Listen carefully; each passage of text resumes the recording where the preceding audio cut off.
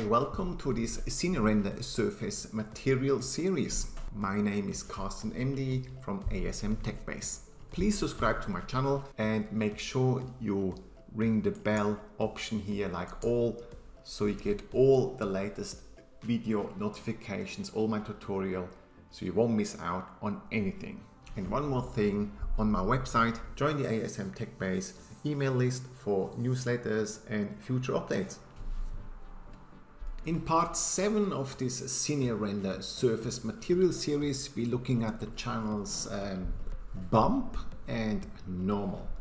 Let's start off with the Bump channel. So I got obviously just, an, as always, an, um, a model. I applied those two walls to just material. I called this material, let's click on it. I called this material ASM TechBase White Bump.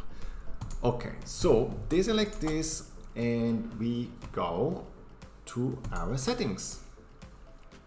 All right, it's a little bit grayish. I should really adjust the settings here.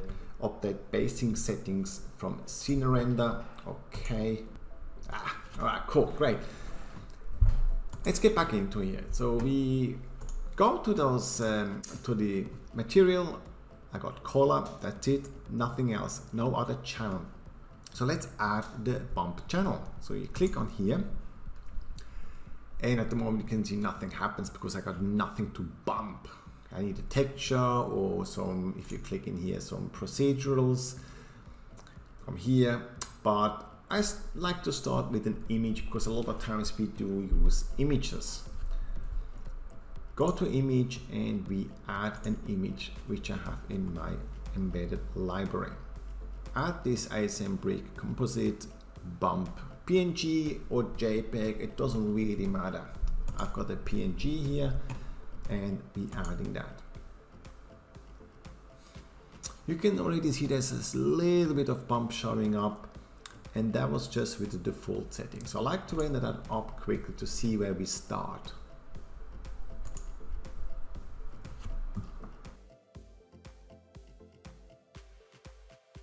Okay, as you can see, the render settings I got on medium at the moment, plus it sort of doesn't really show a lot, but that's just the default settings when adding a bump map. So if I go back into the channel, bump, I can then increase the offsets in here or the samples. Let's start up with the sample. Let's put the samples on 20. And we put the strength higher up. Let's put that on 200.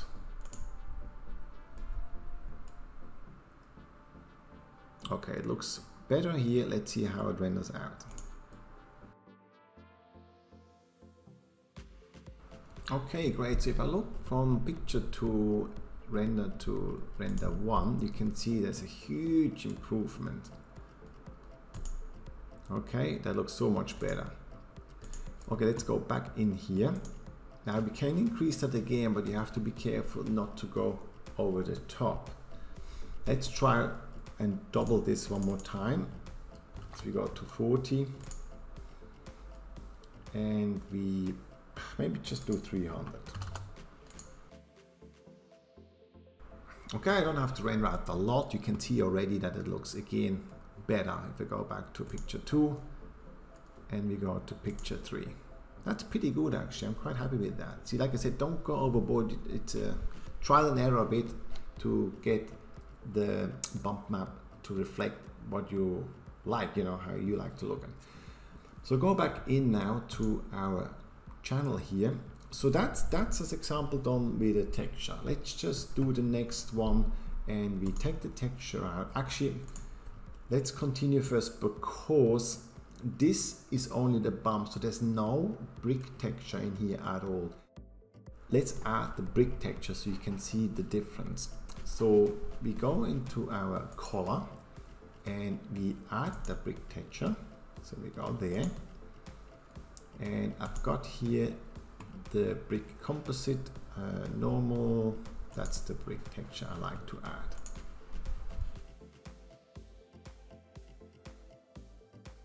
Okay, great. Now we take the bump out to see what happens if I render without the bump. So I'll click OK.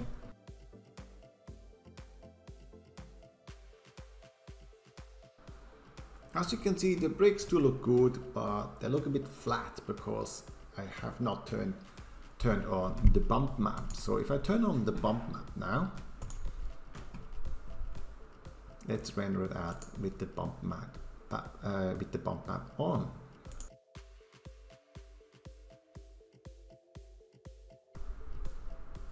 Great, so you can see already that looks definitely much better. If I go back to my last image, you see how it looks a bit flat and you go here, a lot more, realist, lot more realistic. It looks more like shadow gaps starting to show between the bricks where the mortar is. Let's go back again.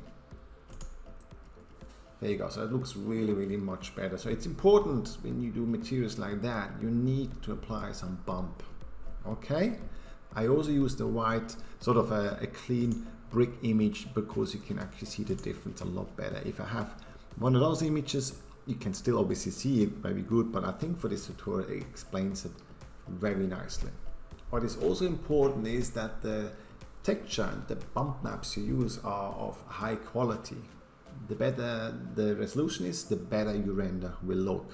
This reminds me to just quickly show you again on my website, I got great high resolution images, which include the normal map, the bump map, and the wooden floors as example even have reflection maps included. They're ready to use. All you have to do is load the container into your ArchiCAD library, choose which one you want, apply it to one of your models, and you're ready to go. Okay, so open this channel again. And instead of an image, let's go in here and we delete this, so none go to bump and we take none and we add a procedural as example. It's in every channel, I told you that before, the same, you can always choose stuff from here. Let's choose tiles as example. Okay, and you can see already the, the examples are they're quite high because it really does um, because it's procedural and it doesn't take a bump map, it works a little bit different. So the settings are pretty high at the moment. So bump them down a bit to 150 and 20. Okay, even further down. That's quite a lot, isn't it? Let's do 50 and 10. Yeah, there we go. So if I go obviously here, you can have the tiles. That's just bump, so there's no color showing up. I know I got color here, but it obviously doesn't show up. Um, so you got grout width, you see it's a bit much. Let's do that or two. And you got a bevel width. Make that 15. Yeah, it looks better. So let's just see how that looks if I render this up now. Whoa, that's that is big. As you can see, I did not check the size, so I better stop this for now. All right, let's go back in here. Yes, so the size is in here. You've seen that's why my very first tutorial showed you the size. So let's go 1000 to 1000. Yeah, and they're much smaller now. There you go and yeah just render it out see how that looks for now so this is another way to get some bump maps going all right let's explain the normal channel so what does the normal channel do let's select normal and again we go and add a texture let's do the same thing here we go image and we add a normal texture the difference you've seen that maybe online, see that's a normal, it's called a texture that sort of normal, and that's a bump texture.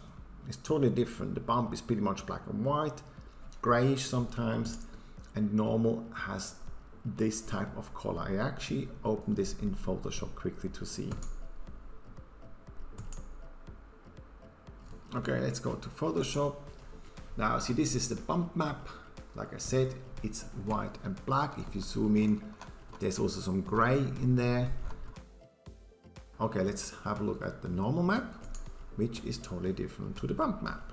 It has a bluish color and if you zoom in closer, you can see it also has some green and red showing around where the bricks, you know, finish the bricks going into the ground.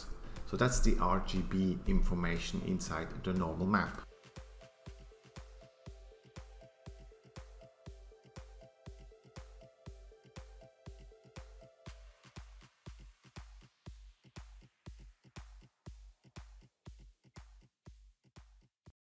Then the normal map definition is different to the bump maps that do not contain any height So bump information. maps are kind of do multiple contain maps angle as information only which really are in RGB height information. The RGB color value tells the render in which direction the slope effect like bump or like information No is facing geometry is added Y, to the Z, 3D model. and how steep that slope is. This also is still a fake effect, uh, just like the bump maps. These maps are more common used in games where you do a lot of rotating around an object or seen in real time. Okay, let's have a first render with our normal map. I can stop this here, you can see what's happening. So if I go now to one of our earlier renders, let's have a quick look. Yeah, this one here as example, that was the bump map and we obviously increased the settings. There you go. So if I look at this one now, you have to increase the setting too. So do that first and then we go and show you again the slight difference we have. So I go back in here and increase this to 300 and render up.